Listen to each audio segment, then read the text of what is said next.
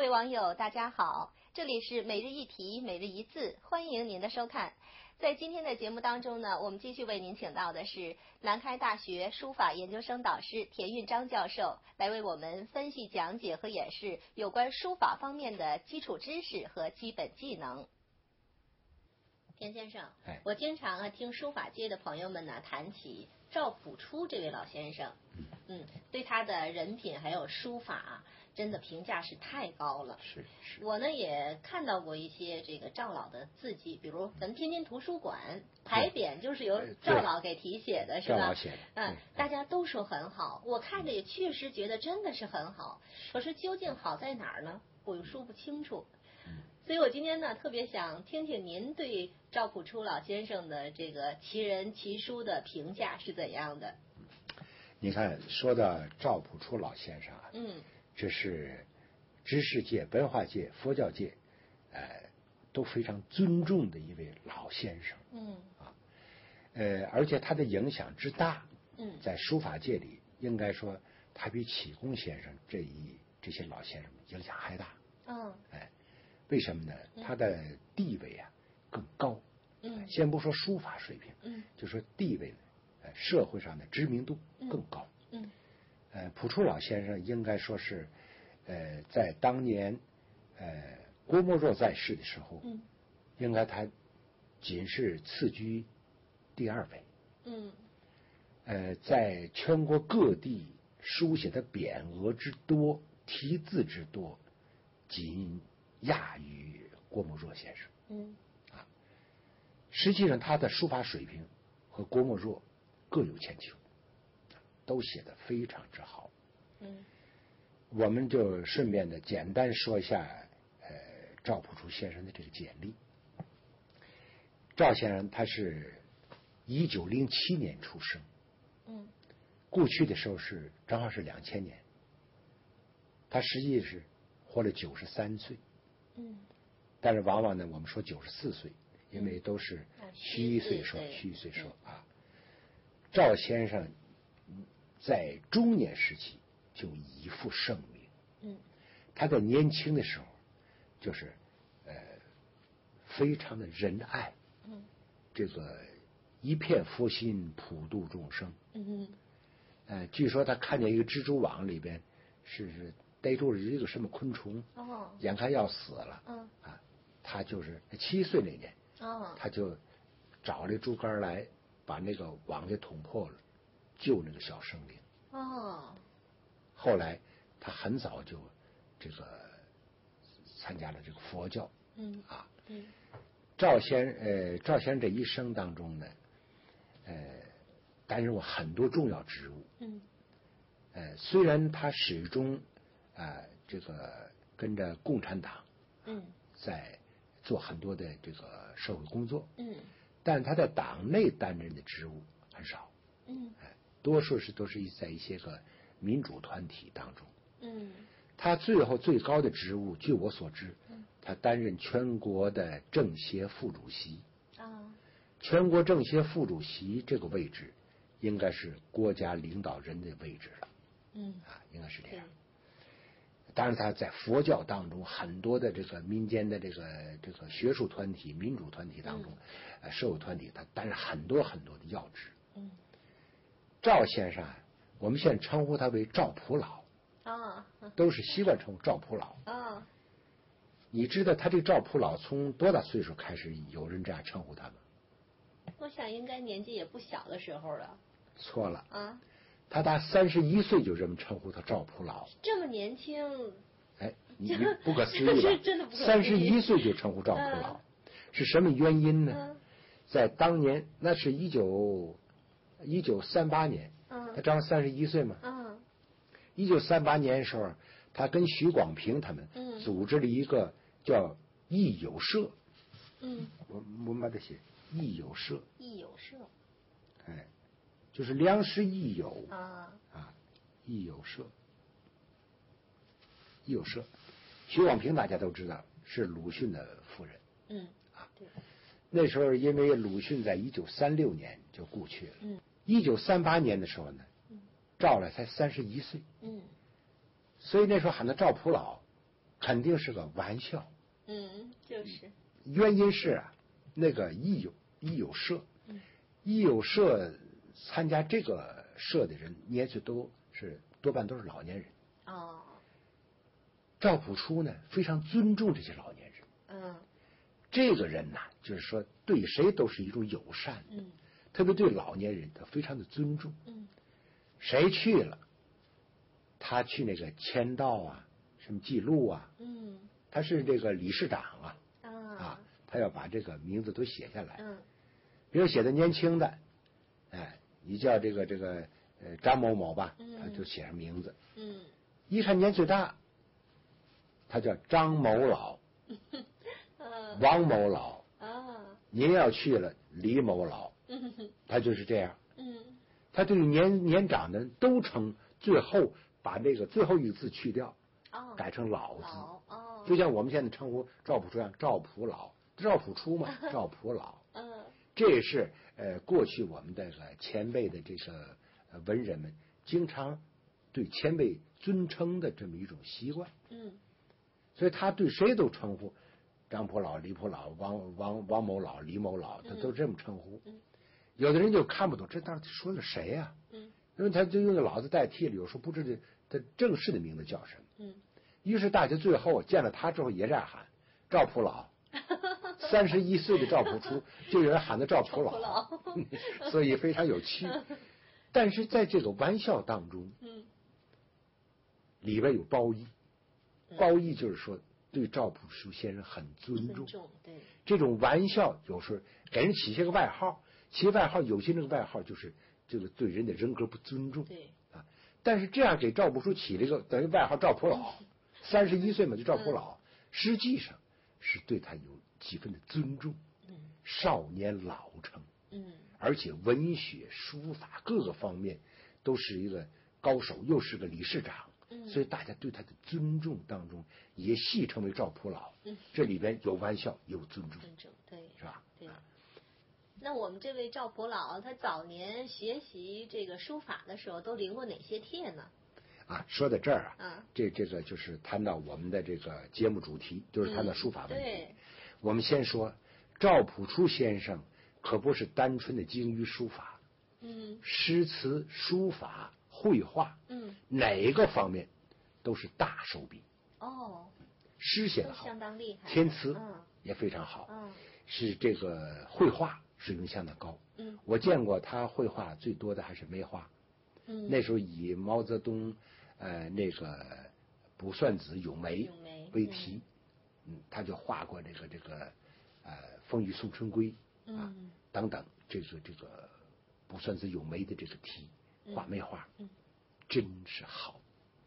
旁边自己提拔诗词，自己的字、自己的诗、自己的画加在一起，非常的高妙啊！这是我我早年就非常敬佩这位老先生。其实我跟这老先生呢，没有一面。没有未曾谋一面，因为我是一个晚辈，呃，而且从社会地位上也根本不能相提并论。嗯。但是，我每每看到有赵朴初先生的消息，我都要拜读。嗯。哎，我特别敬重他。嗯。你谈到说他临过什么帖的问题，实际上呢，现在赵朴初先生写的这个，我们现在流传下来赵朴初这些字迹，多数都是。近似于苏东坡这种风貌的字迹，嗯，哎，实际上他在早年呢，我们查阅一下他学书的经历，他不是写苏东坡的，哦，他是在四十岁以后才转到的苏轼这个书体当中。来，哦，在最早也是学二王，嗯，比如说呃学欧阳询、虞世南，嗯，呃，再以后学过米芾，嗯。呃，更多的时间写过赵孟頫、董其昌，嗯，一直是走帖学这个路子，嗯，四十岁以后才渐渐的，呃，学了苏体，嗯，学苏东坡，嗯。啊，说到这儿，呃，我想起一个很有意思的一个话题，啊，呃，我今天呢，呃，正好是这个，因为我带的资料当中啊，嗯，呃，可能是也有这这一张一一份报纸，啊。那是在去年吧，嗯，有一个学生啊跟我谈一个事儿，嗯，他说：“田老师，我问你一个人，一个书法大家是唐朝人，嗯。他叫李泰，嗯你知道这人吗？”嗯，我写下来啊，李泰，李泰，嗯这个泰就是泰山的泰，哦，李泰。您知道吗？他问我，啊我说我不知道。哦，哎其实历史真有这么个书法家，我孤陋寡闻，我知道的少。嗯，我说我不知道。嗯他说你自己更没见过了。我说连名字都不知道，嗯自己肯定是没见过。嗯他说原来，他说这个赵朴初先生啊，嗯就是学李泰书法的哦啊。我当时我我特别惊讶，我说我没听说呀。嗯我说你有什么证据吗？他递给我一张啊，呃，武汉出的这个书法报。嗯这张报纸也不是谁呀、剪的，就是介绍赵朴初先生学书法的经历，嗯剪的呢很不完整了。看来当时这个人也不是要呃重点的保留赵朴初的这个呃学术业绩这个这个过程，不想保留这个，就所以拦腰剪断，只有前面一部分。于是这个学生拿给我看，嗯我一看上面真的是有这么句话，嗯，不过看完之后让我啼笑皆非。怎么说的话？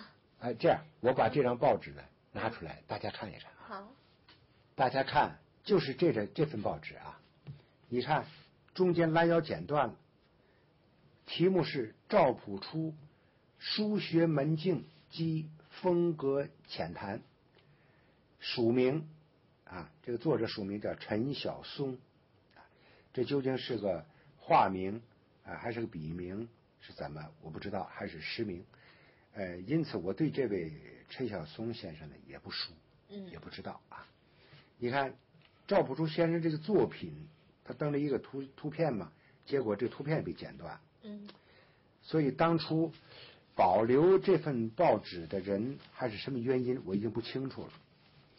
你看他后边说了一段话啊，大家看啊，启功先生在赵朴初诗词手记选后记中说，就说出版了一本书，叫《赵朴赵朴初诗词手记选》，嗯。后记中说，就是启功先生做了一个八，嗯这个前边的呃加一些个说明的嗯。叫序，嗯。后边的叫八，啊，前为序，后为八，但是他说的是后记，啊，在后记中说，普翁善八法，这句话大家听得很明白，嗯因为这个启功先生非常尊重赵朴初先生，嗯，称呼他为普翁，嗯。啊，普翁也是我们呃文学界常用的常用语，啊呃，比如说对某某先生，呃，比如说我给周汝昌先生写信时候，我经常写呃汝翁，汝翁嗯。是一个表示尊重，对长者的尊重啊。那么启功先生对蒲冲呃蒲初先生呢称为蒲翁善八法，善八法不单是指永字八法，就擅长书法。嗯过去说八法就是书法的一个代称，嗯善八法，与古人好李泰和苏子瞻书。嗯注意这句话。启功先生说，赵朴初的字，在最早最爱好的是谁呢？是李泰和苏子瞻。嗯，注意，我把它写下来啊。好，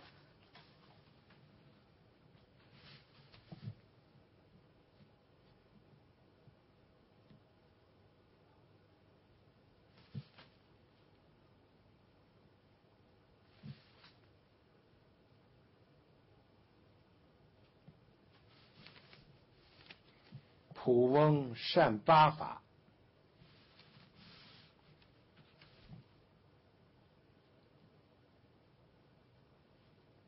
与古人，号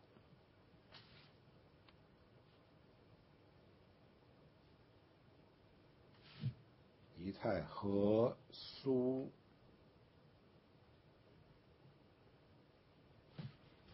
苏子瞻书，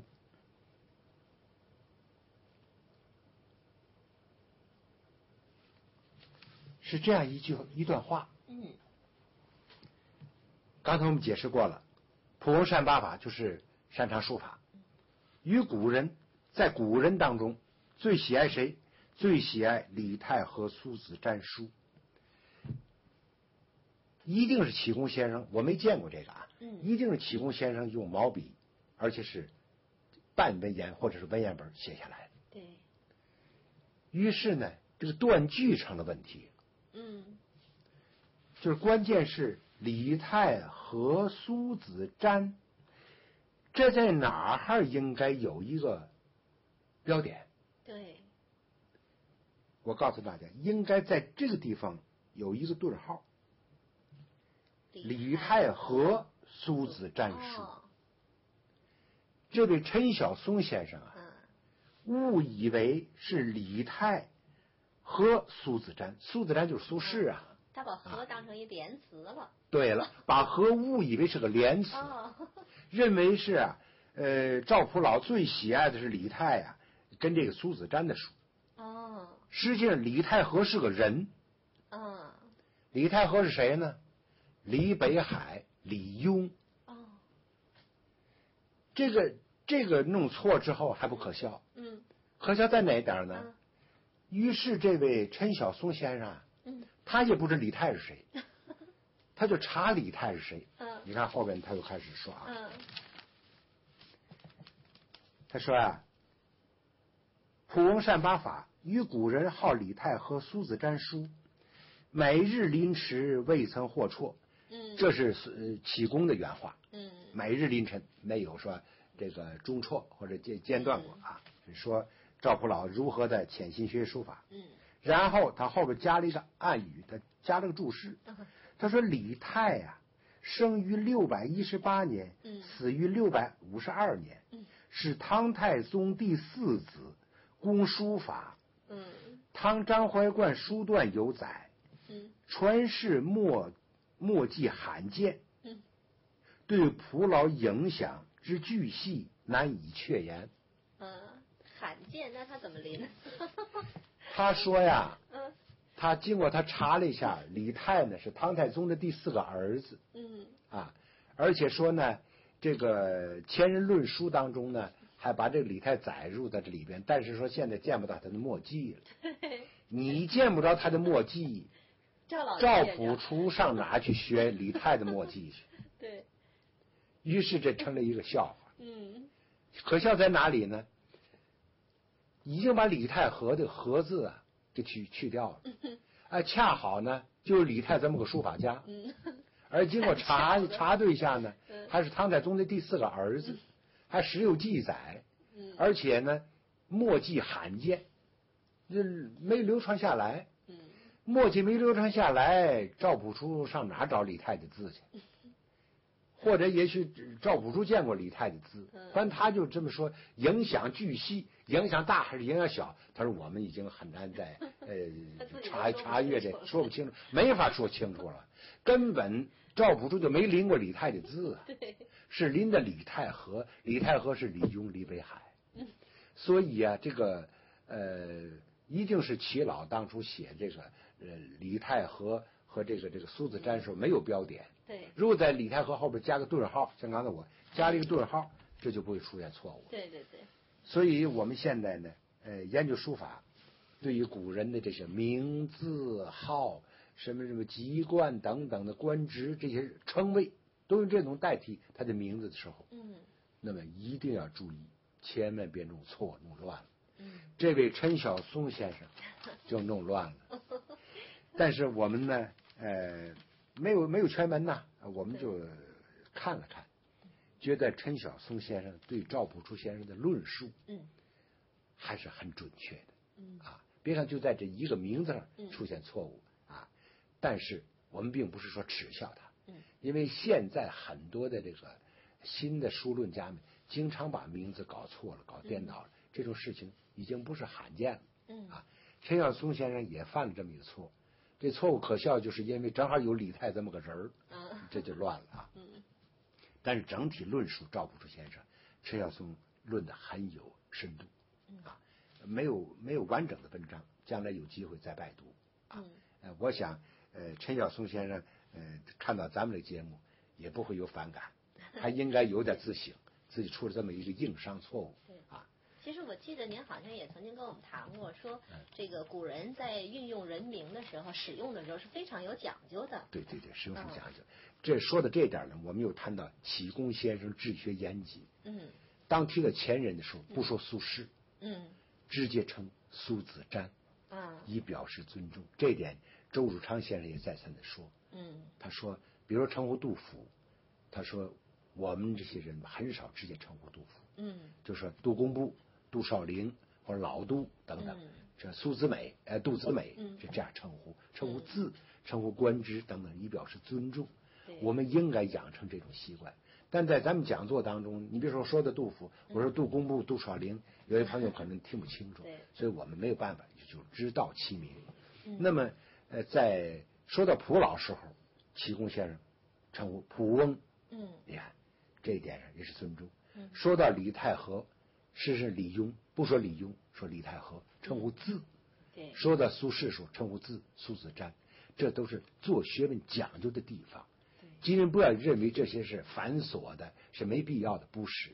养成这种习惯，尊重别人就是尊重自己呀。嗯，应该注意到这点。嗯，那么我们在呃说到蒲老这个话题，蒲老平生当中没有大的坎坷。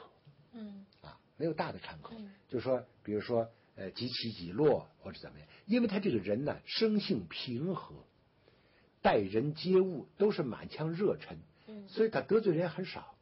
即使在文化大革命当中，他也没遭过什么大的灾祸。嗯，呃，但是据我知道呢，他好像蹲了三个月的牛棚，哦，就三个月，三个月，哎，那是在一九六八年。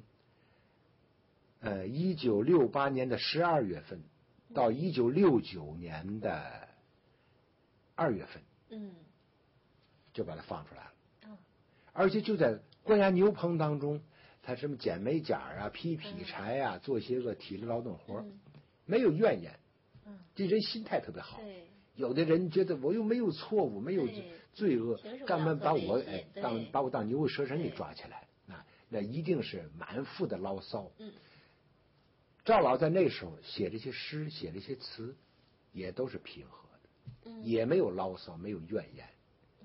三个月当中，周恩来知道了，嗯周恩来就赶紧把他放出来了。说这个人怎么也给抓起来了，是吧？但是这赵朴初这个人就是这么平和，也没有怨言，也没有什么这个记恨啊。所以他写的字，嗯画的画，诗词。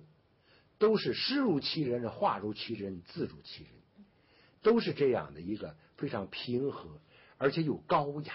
嗯，这个平和不是平俗，对，是平和当中见高雅，诗书画各个方面都是高水平的。因此，现在知识界、文化界、佛教界提起赵朴初先生，无不敬仰，无不尊重。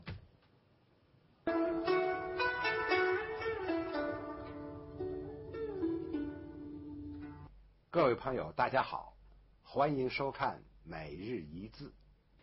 今天我们向大家介绍一个“辱”字，就是耻辱的“辱”，羞辱的“辱”，宠辱不惊那个“辱”字。好的，现在我们用楷书先演示一下这个字的一个规范写法。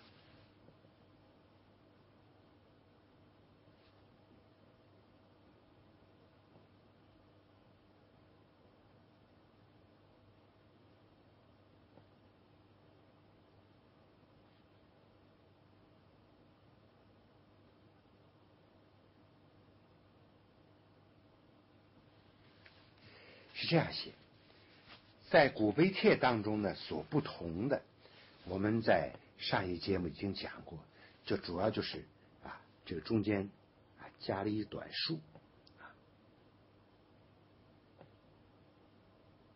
就这个地方加了一个短竖笔。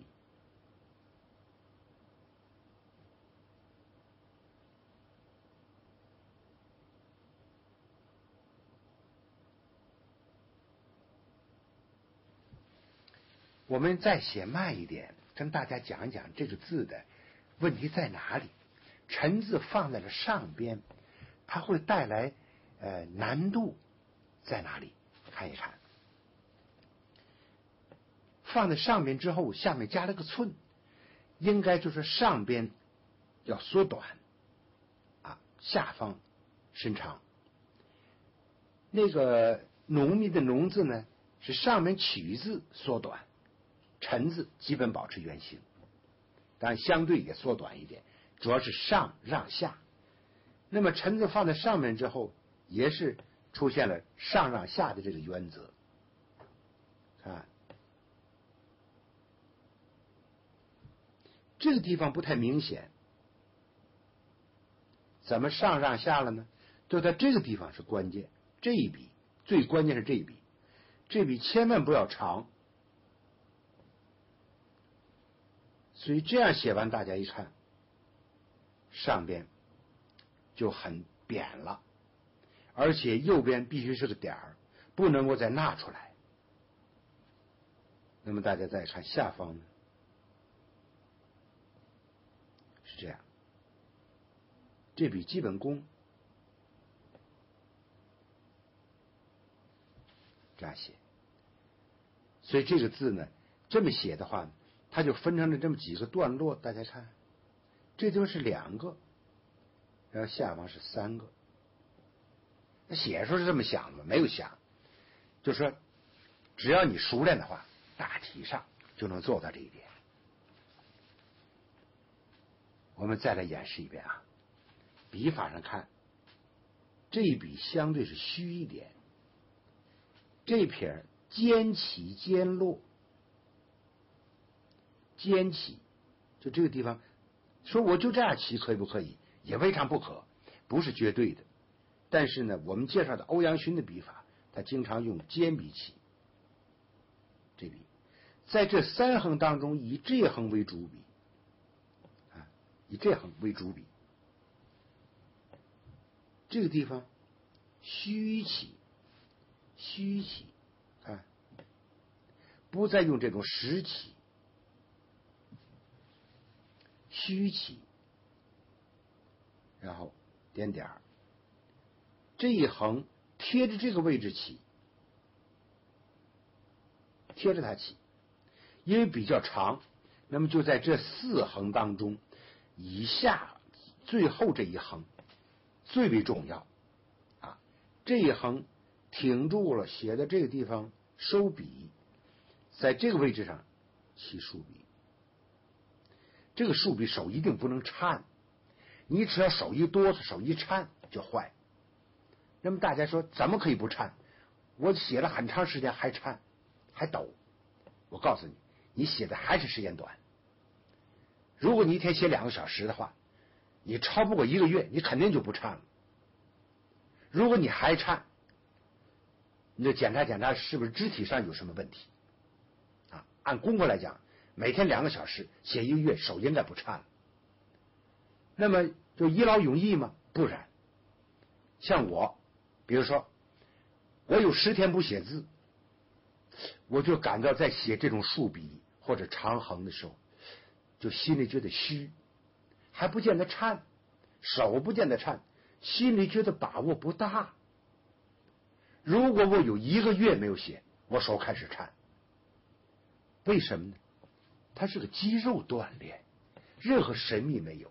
就是有些人迷信旋肘，看人家旋肘能写，或者你你呀没有旋肘写了一个字，他旋肘写了字，于是很多人赞扬这旋肘的，看人家旋着肘还能写，你还得趴在桌子上写，你这不叫本事。我告诉大家，就是个肌肉锻炼。你只要经常旋肘这么写，有一段时间，就这个地方肌肉它就巩固了。那么这肌肉发达以后，就使得你手就不颤了，就这么简单，就像举杠铃一样。举杠铃你没有力量，你举一百斤你就颤；他有力量举二百斤他也不颤。肌肉锻炼，因此书法具有很强的这个呃技术含量，又有很强的一个肌肉锻炼过程。如果只是理解，说理解就可以不颤了，是不是理解不到位？不对。你看，我即使是这样旋起肘来，我写种长横，哎，颤吗？也不颤。但我拿左手写，还是我用这个大脑的神经啊，来来指挥，我左手肯定就颤。我写这时候肯定就没把握。这就是说是个肌肉锻炼过程。所以大家不要特别迷信旋肘，又不能不练习旋肘啊，这是要大家注意到的。呃，又是一个呃呃题外之话吧。再看一下，就这种地方实写可以，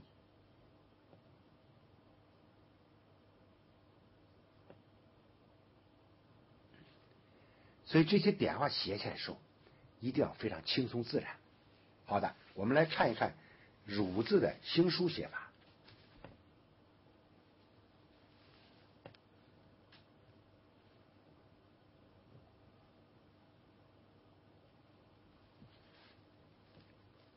我曾经说过，这种笔画上来之后可以连上，这么转一圈可以不连上，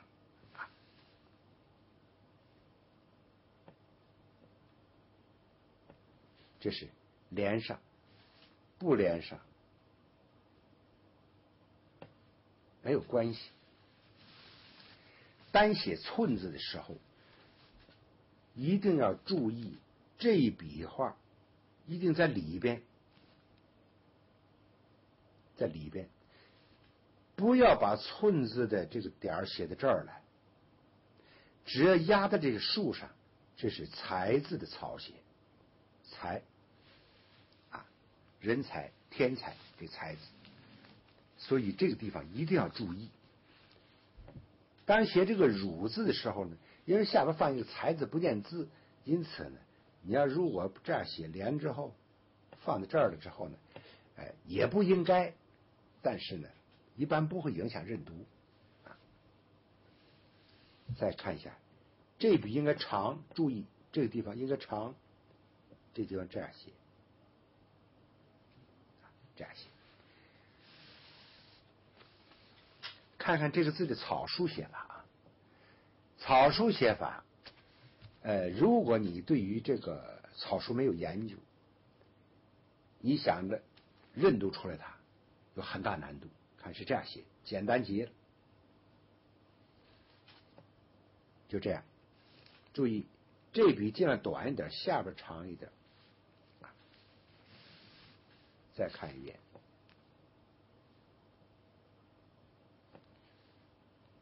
也就直接按收。